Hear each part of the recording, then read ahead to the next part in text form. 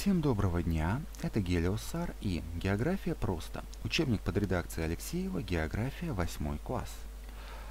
Обобщение по третьей теме.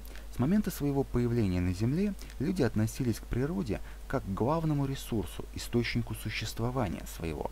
Охота, рыболовство, собирательство, затем земледелие и животноводство, а потом и добыча полезных ископаемых – все это обеспечивало существование людей. Огромная территория России и большая ее протяженность во всех направлениях определили разнообразие природных условий. Имея самые большие в мире природные ресурсы, Россия живет в значительной мере за счет их эксплуатации. Полезные ископаемые, агроклиматические, водные, почвенные, биологические – все это пока обеспечивает наше существование.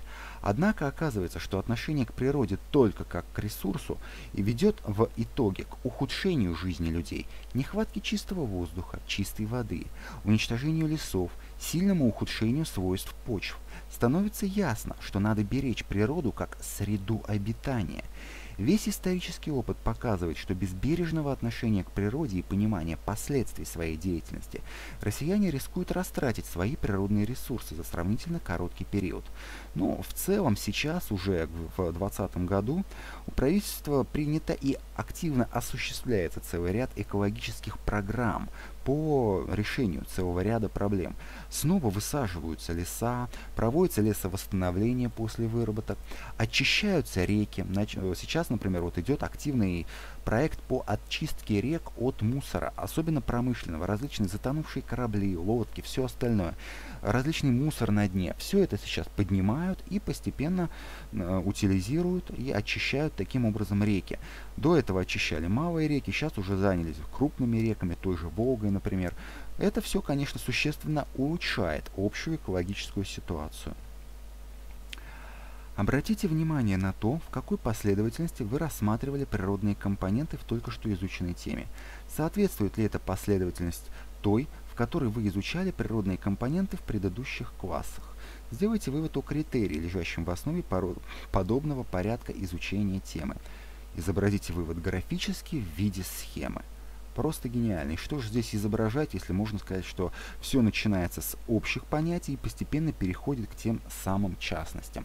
Причем что в этом учебнике, что в других учебниках. А, расспросите родителей о том, как они изучали природу и географию в целом. Ну, я могу говорить только о себе, что я изучал, конечно, географию по другим учебникам. Каковы главные преимущества и недостатки в обеспеченности России природными ресурсами вы видите? Но дело все в том, что сейчас, в 2020 году, независимо, независимо от того, что написано в этом учебнике, можно сказать так, э, недостатков в обеспеченности России ресурсами просто нет. Есть преимущество, что у России есть все необходимые ресурсы. И что в целом э, в период где-то с 2005 по 2020 год правительство России не просто так продавало ресурсы за границу, а использовало эти деньги для модернизации экономики. И в целом сейчас в 2020 году можно сказать, что им это удалось. Большая часть заводов была модернизирована. Были модернизированы, например, те же нефтеперерабатывающие заводы. На момент 2005 года Россия продавала нефть. На 2020 год Россия уже активно торгует не только нефтью, но и топливом, что, естественно, сильно повышает стоимость продаваемой продукции для наших компаний, которые этим занимаются, и прибыли, которые приезжают в Россию. Сильно развиты общие друг, другие виды промышленности. И благодаря тому, что есть все необходимые ресурсы, мы, Россия, хотя бы не зависим от этого.